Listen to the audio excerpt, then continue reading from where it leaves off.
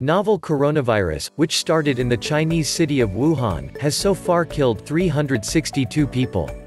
17,384 people have contracted the disease, including two in the UK, with 2,298 believed to be critical.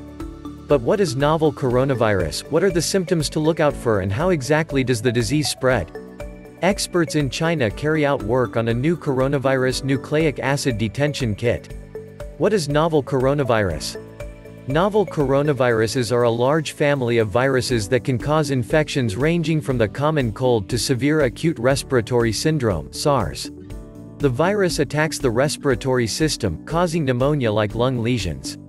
Some of the virus types cause less serious disease, while others, like the one that caused Middle East Respiratory Syndrome MERS, are far more severe. In 2003 an outbreak of a similar virus, SARS, killed more than 900 around the world within weeks. What are the symptoms? Symptoms are similar to a common cold. They include, a runny nose headache cough fever shortness of breath chills body aches in most cases, you won't know whether you have a coronavirus or a different cold-causing virus, such as rhinovirus. But if a coronavirus infection spreads to the lower respiratory tract, your windpipe and your lungs, it can cause pneumonia, especially in older people, people with heart disease or those with weakened immune systems. There is no vaccine for coronavirus.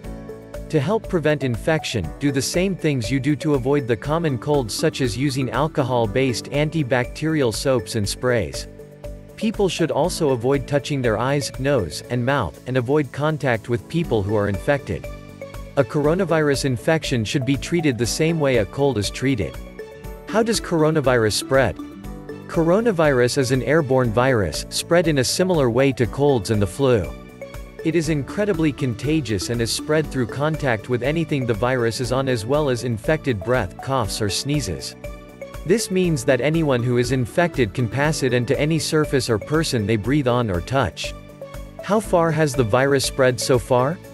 In spite of efforts to contain the virus, it has gone international. There have been 17,384 cases reported worldwide. 2,298 are believed to be critical.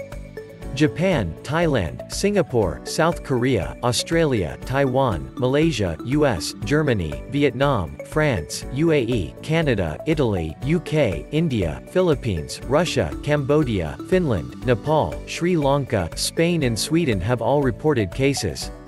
On January 31, 2020, the first two cases were reported in the UK. How many people have died from coronavirus? The global death toll currently stands at 362. In China, the majority of those deaths were all in the central province of Hubei. Thanks for watching please like share and subscribe our channel for more informative videos.